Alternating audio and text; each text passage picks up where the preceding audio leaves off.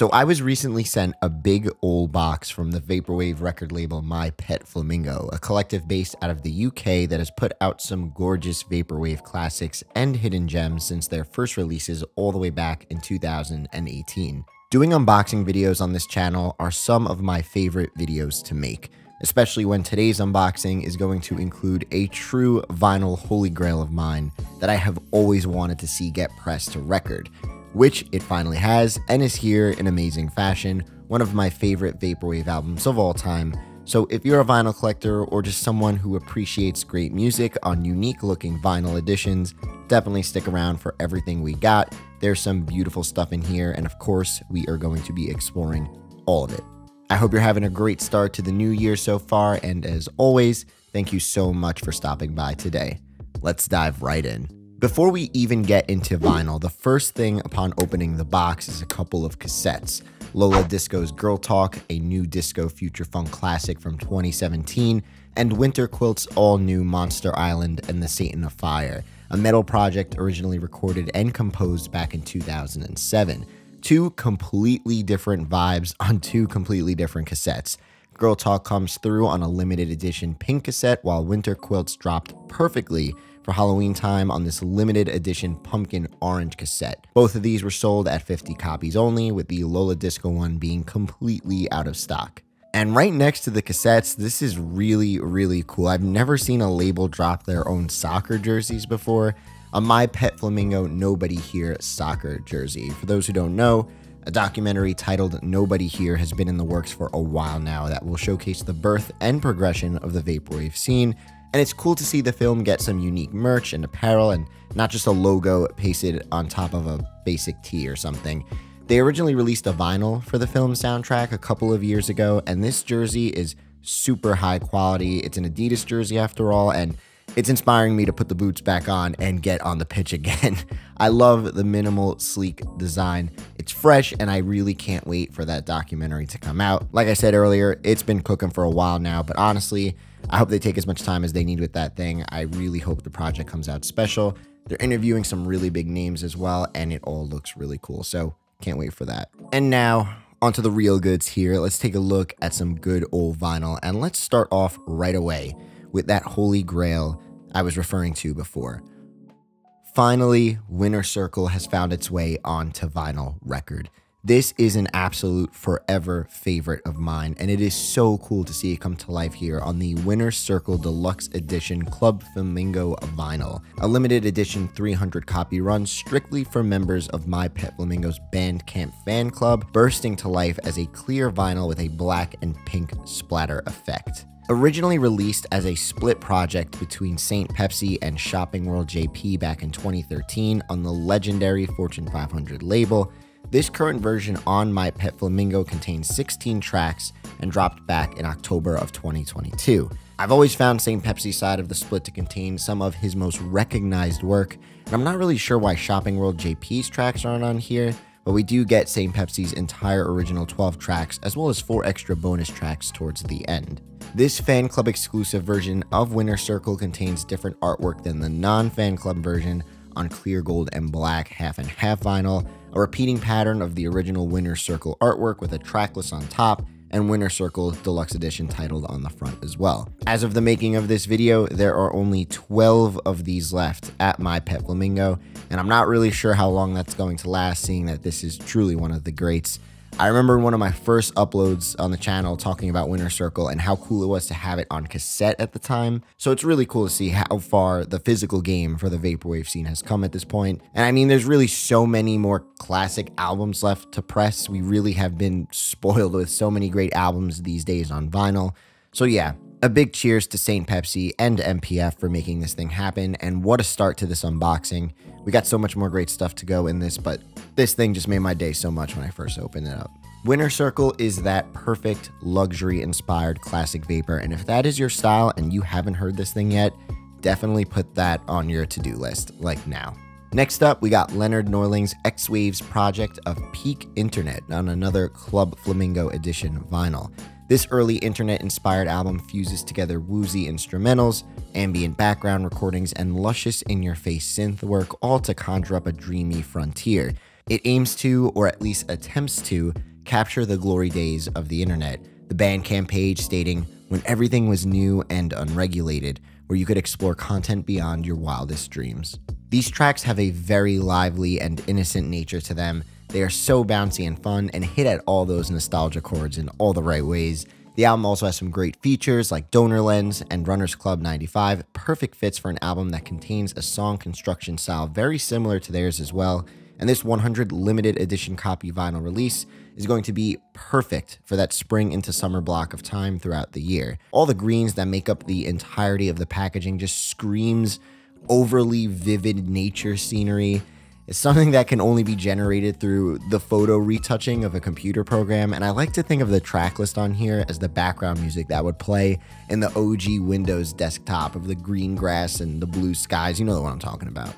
This next one, I ain't even gonna try and pronounce correctly, so I'm just gonna call it Groot in Belgium. I remember seeing this album pop up all the time on Twitter back when it first dropped, and I never really gave it a listen, so now it's exciting that I am able to, and what is more fitting than this to have a vinyl that mimics the Belgian flag? Here we have the Club Flamingo edition of the album on a limited edition 100 copy black, yellow, red striped effect vinyl. Furthermore, the packaging contains recycled sleeves to give it a unique texture, all giving it a cool but hip vintage feel. This project from Timeshare 94 utilizes Belgian samples, taking in classic Belgian pop and new beat influences, which is interesting to see in a scene that is usually preoccupied with American and Japanese culture references, as the Bandcamp states in detail towards the bottom. It's cool to have an opportunity to dive into someone else's nostalgia from another country, and many of these dancey, lo fi inspired tunes go super hard without being overly punchy or club like. The album features artwork from another Vaporwave producer, Vanitas, who is also a Belgian Vaporwave producer, and I really do love me some triple split color effects on vinyl, especially when this one here actually has some direct meaning to the album itself. The Club Flamingo vinyl is still currently available on the site, as well as a couple dozen red and orange edition vinyl as well for non-fan club members. Before we continue this video, I just wanted to give some love to everyone who supports me over at my Patreon page and everyone over at the Club Chennington Discord server. If you want to get access to our patron exclusive Discord server and a bunch of other cool benefits, all while helping out the channel, consider stopping by the page and becoming a patron today. We'll leave a link to it in the description below. Thank you all so, so, so much for the support. Next up, another monster classic Vaporwave album, which has finally made its way onto vinyl. Golden Living Room's 2014 gem of Welcome Home on a limited edition cream and mustard half and half vinyl. The mysterious Welcome Home captures the earthy colors of 70s and 80s inspired furniture slowly entering into the future age of technology. There's a mechanical aura to this entire album that shares space with Golden Living Room's effect choices, all bringing you this weird taste of somewhere in between organic and artificial. This is another vinyl I was sent here with a reverse printed sleeve, and it also comes to us as a 200 limited edition copies run, with a couple of dozen still available at the site. There's also a splatter edition one, which also has just around the same amount of stock left, so if you're looking for some atmospherically comfy, yet alien like background music to your day to day activities, pick up Welcome Home. There's still a good amount of copies left for both versions. I know I only have the half and half version here, so it's hard to compare without seeing the other one in real life, but I do think this one just pairs with the album art that much more. Its simplicity and color choices are just perfect, and it's exciting once again to own and archive another Vaporwave classic release on vinyl. So if you love neon colored 80s inspired Miami imagery and a goddamn saxophone sunbathing by the pool, Sunsets by Nanoshrine, yeah, that's for you, my friend. Here we have Sunsets on a split black and blue vinyl, 14 tracks containing some awesome vocals and silky, silky smooth saxophone recordings. Turning to the back, we get more of those Miami inspired vaporwave colors of pink and yellow, all laid over some classic vector art. Originally released back in 2017 on Business Casual, Nanoshrine is super talented, and hearing original vocals on top of tracks is always exciting to see on these releases. This album jumps all over the place from start to finish, new wave to synth pop and everything in between, and doesn't let up at any moment. It's energetic and over the top in all the best ways, glitchy at times even with these vocals, all the colors from the artwork by illustrator designer Yoko Honda meshing perfectly with the physical record. Big congrats to Nano on this one. Next up, we got a modern day classic, my personal favorite from the Donor Lens catalog, Midnight Store. An amazing combination of talents, features, instrumentals, and anything else you could possibly think of. Summer of 2020 saw Donor Lens release their most ambitious project yet. A concoction of all things vaporwave, synthwave, and just late night grooving.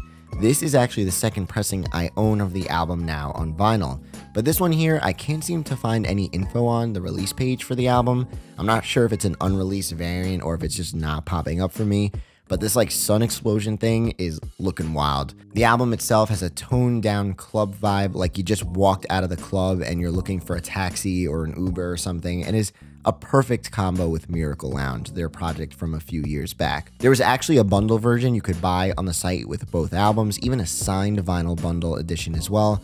But this one here, like I said, I couldn't really find it on the site, so that's pretty sweet. I don't know, something I feels like something I'm not supposed to own, but whatever, I'll take it. The back art of the vinyl jacket contains this really sweet 3D rendered landscape of a store aisle stocked with drinks and a track list towards the bottom. Another record I'm not really sure is for sale or not since I can't seem to find it on the My Pet Flamingo site is this one, Ursula's Cartridge's Brain Dance. Brain melting break beats on 10 vintage rave inspired tracks, Ursula's Cartridges comes back swinging with an album five years in the making.